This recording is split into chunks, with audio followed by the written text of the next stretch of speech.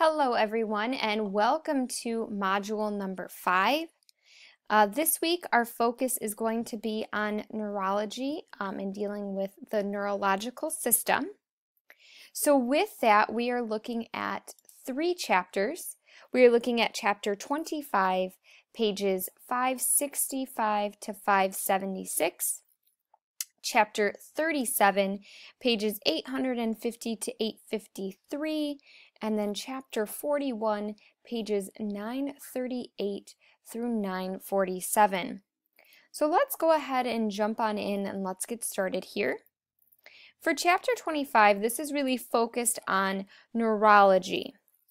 And neurology is the study of the nervous system.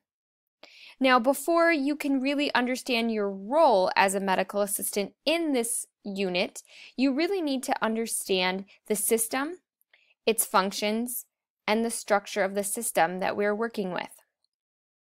So the nervous system is a vital component of the human body.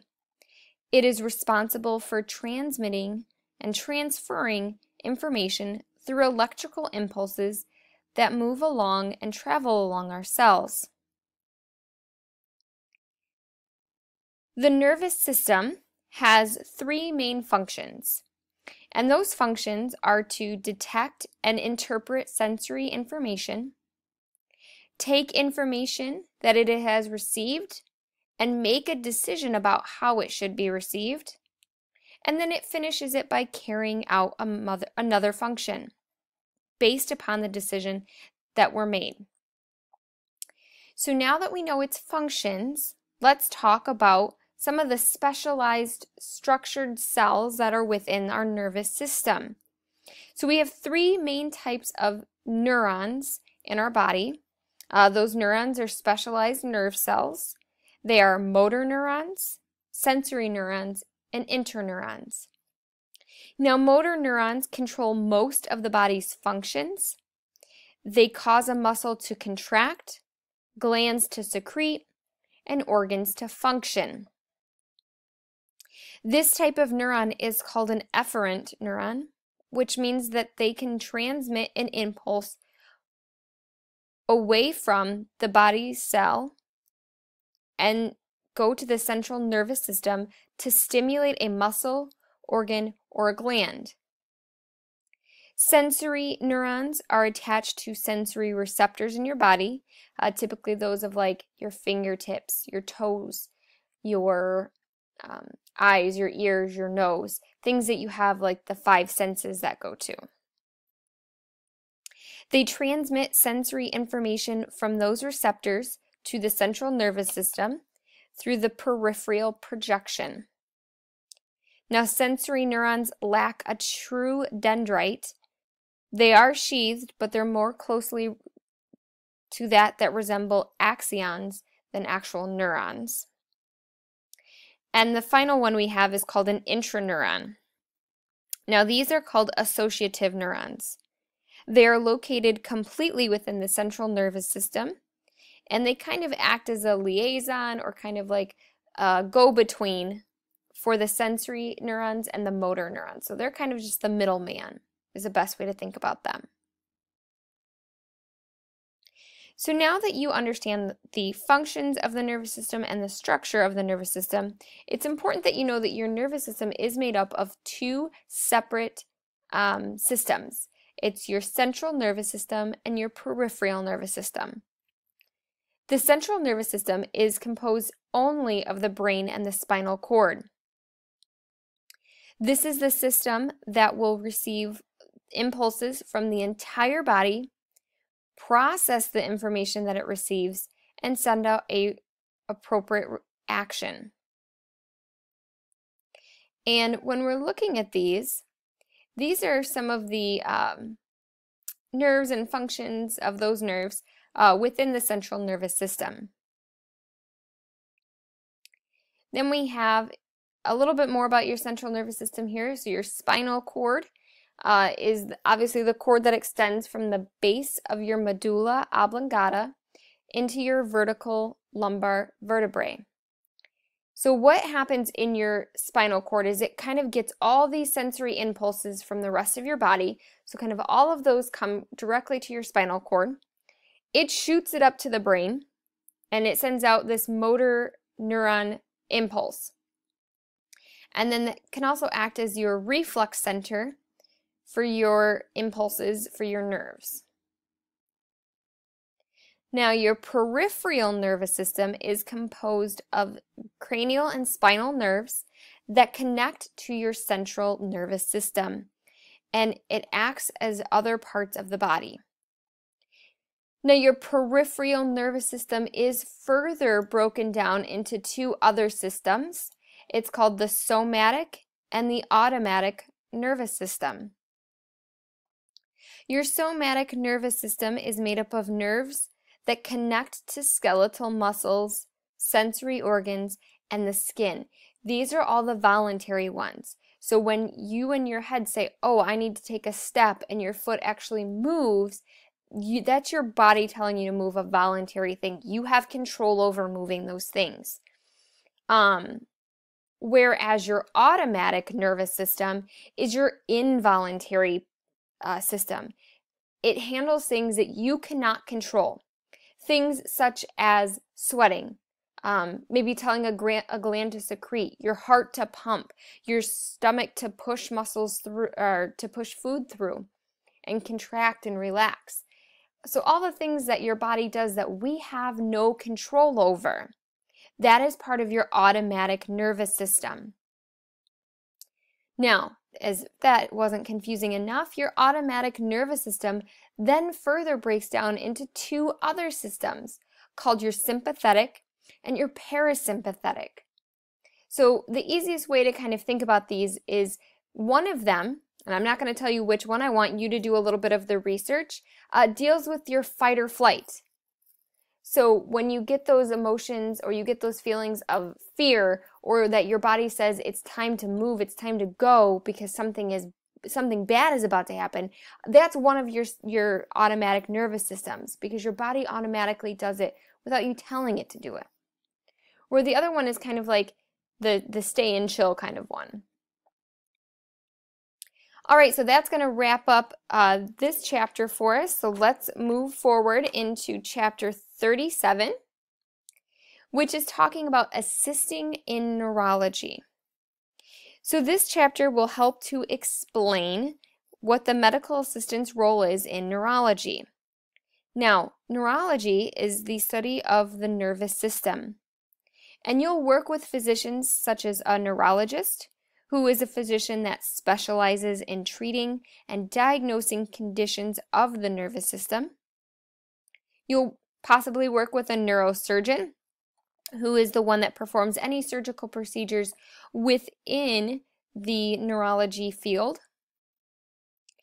You could also work with a psychiatrist, which is a physician who treats mental and neurological conditions such as affective behavior disorders.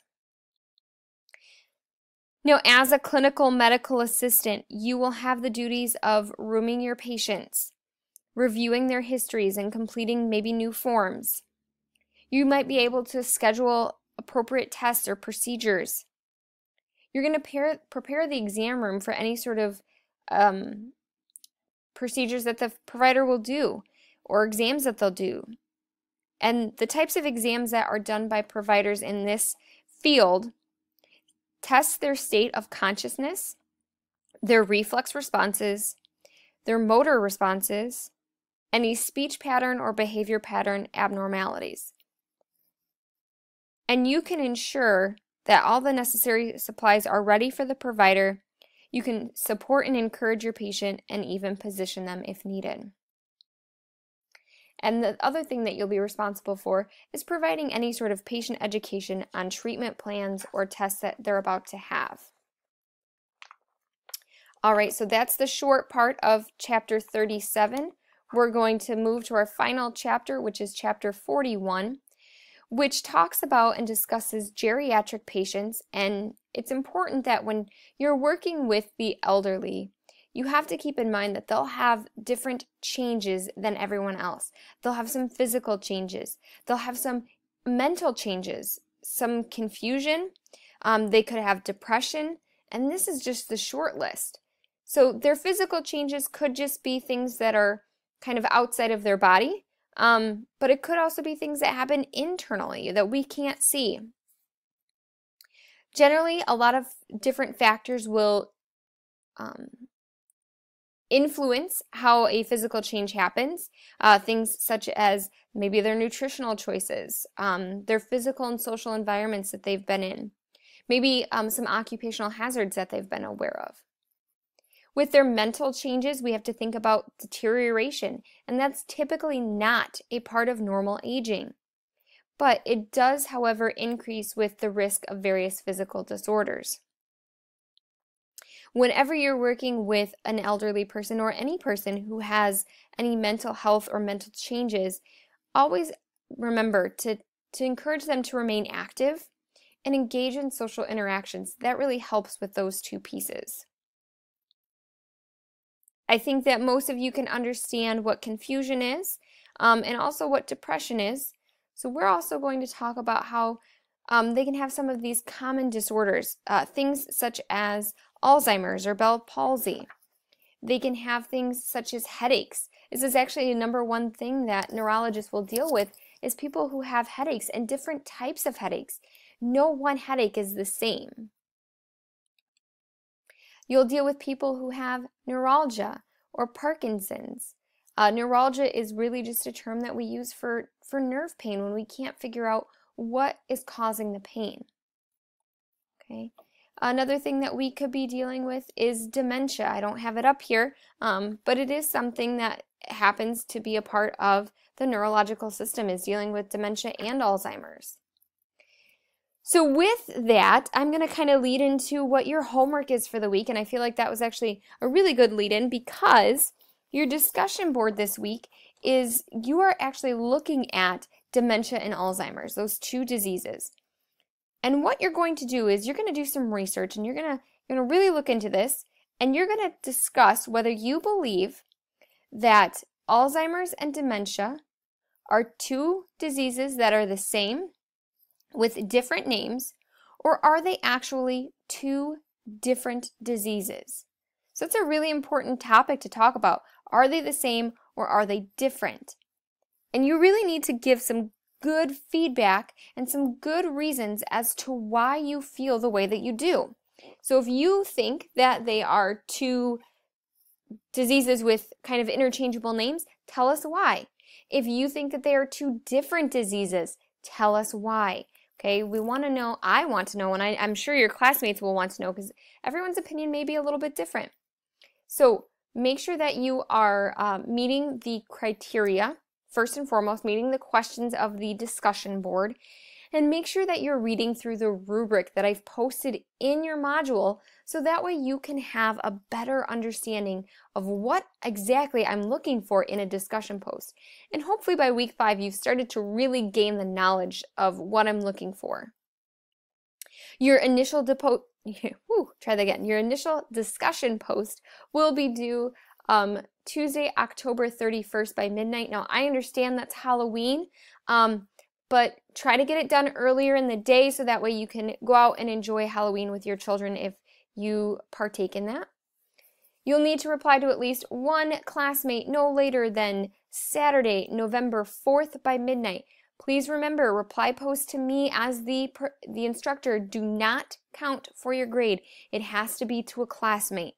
And it has to be something more than just, I agree, I disagree. You have to actually put in good feedback to them. You'll have one quiz this week, and that quiz is over the chapters listed here in everything dealing with neurology. Uh, typically, I'm going to tell you to wait until after you go through your lab class or classes um, so you get the best knowledge. Okay, that is a 10 multiple choice question quiz. You do have a 10 minute time limit. And that's all I've got for you for week number five. So if you have any questions, comments, or concerns, please reach out to me either via email or through the course messaging in Blackboard. Have a wonderful week, guys, and happy Halloween. Bye now.